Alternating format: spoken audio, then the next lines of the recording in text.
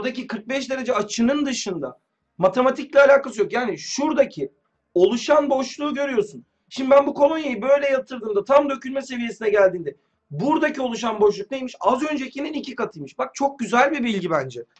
Yani anla Şimdi güzel bir TYT sorusu neden? Birincisi sınava girdik diyelim. 2,5 milyon kişi girdik değil mi biz sınava? 2 milyon kişi girdik sınava. Zaten 1 milyonu bu soruyu görmedi. TYT'desin. Yetiştiremedi o sınava bu soruyu görmedi o 1 milyonu.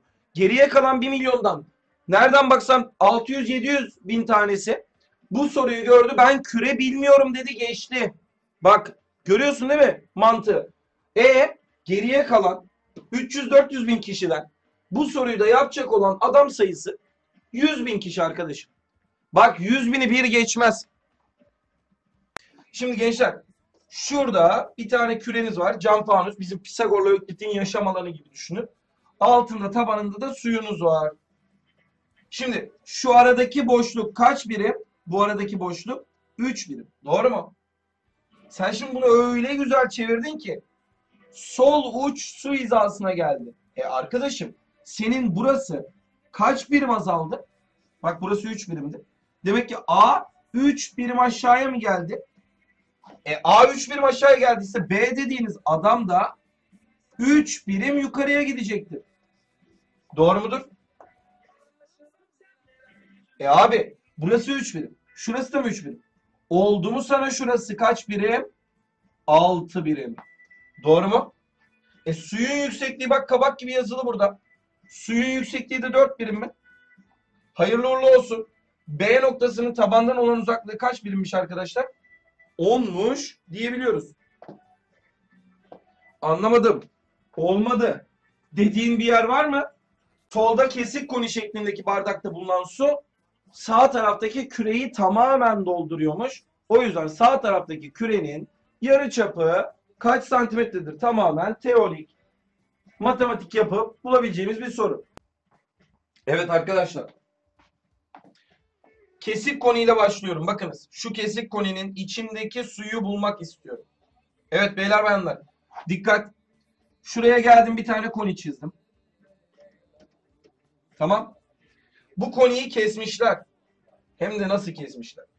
Oradan ortalardan bir yerlerden hop kesiyi atmışlar. Doğru mu?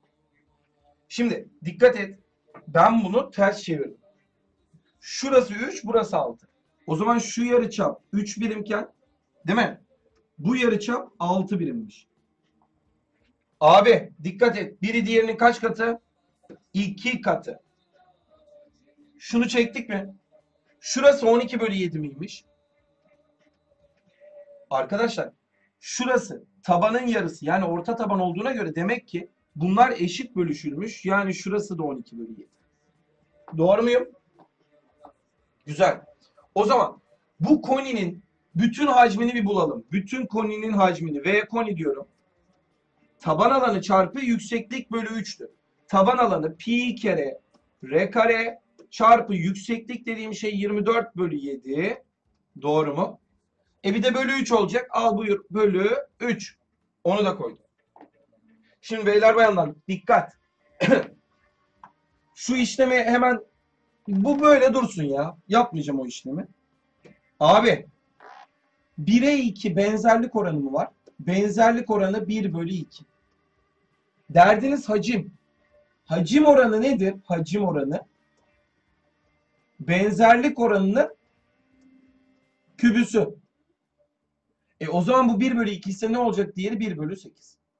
Yani şuranın hacmi V kadarken buranın hacmi hop 7V kadar olacak. Sıkıntı var mı arkadaşlar? O zaman bakın çok tatlı. V'ye 7V. Bunu çok kullanacağız. Sayısal arkadaşım zaten fizikte de kullanıyor. Bana lazım olan kısım burası. Bu bütün hacim.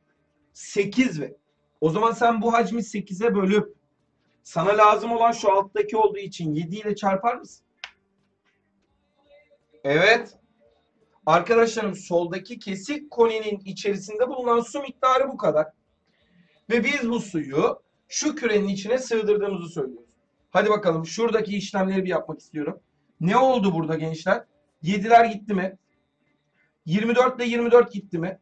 36 pi dediğiniz şey, 36 pi dediğiniz şey kime eşit oluyor?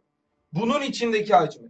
Yani 4 bölü 3 pi r küp. Olduk mu? Evet abi pi'ler gitti.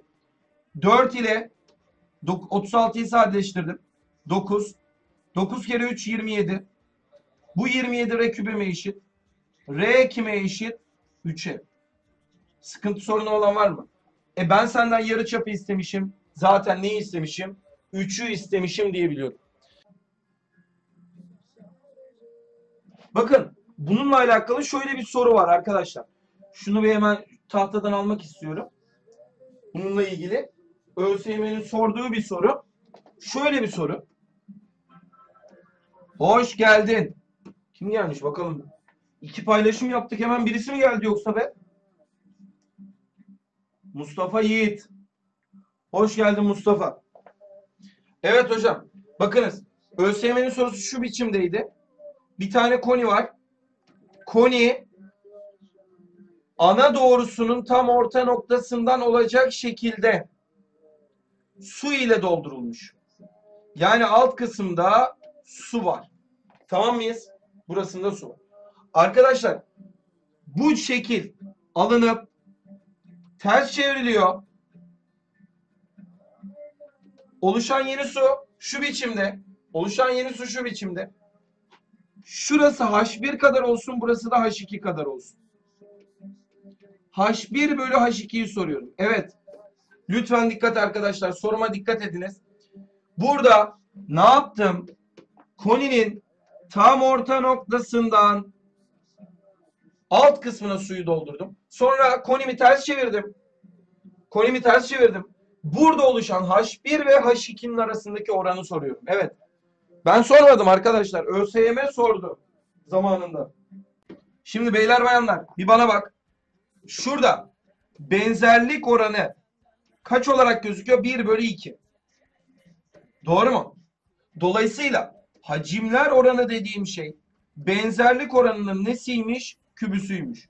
Yani 1 bölü 2'nin kübüsü yani 1 bölü 8'i buldunuz siz. Abi o zaman şuranın hacmi ise bu tabandaki kalan kısmın hacmi ise 7 V. Sıkıntın var mı?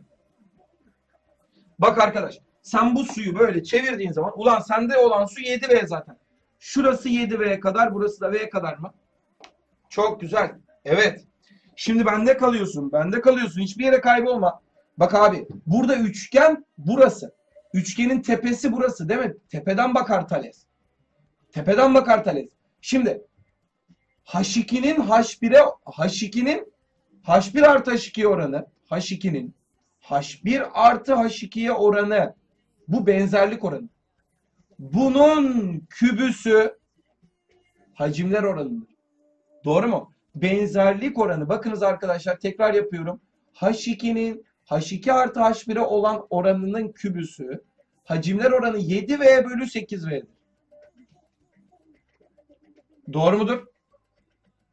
Arkadaşlarım o zaman siz her iki tarafın ne yapıyorsunuz? Küp kökünü alıyorsunuz. H2 bölü H1 artı H2. Al babacığım bunun küp kökünü. Küp bak V'ler gitti mi? Küp kök 7 bölü kim? Küp kök 8. O da 2. Değil mi? Artık ben senden H1 bölü H2'yi istemişim. Bende kal. Bir yere kaybolma. Burada gidip amele sümüğü gibi içler dışlar falan yapmayacaksın. Çevir abicim tersini. H1 artı H2 bölü H2 mi? Kime eşit? 2 bölü küp kök 7'ye mi? Abi basit düşün. Evet gençler bayağıdır basit düşünmemiştik. H1 bölü H2 değil mi?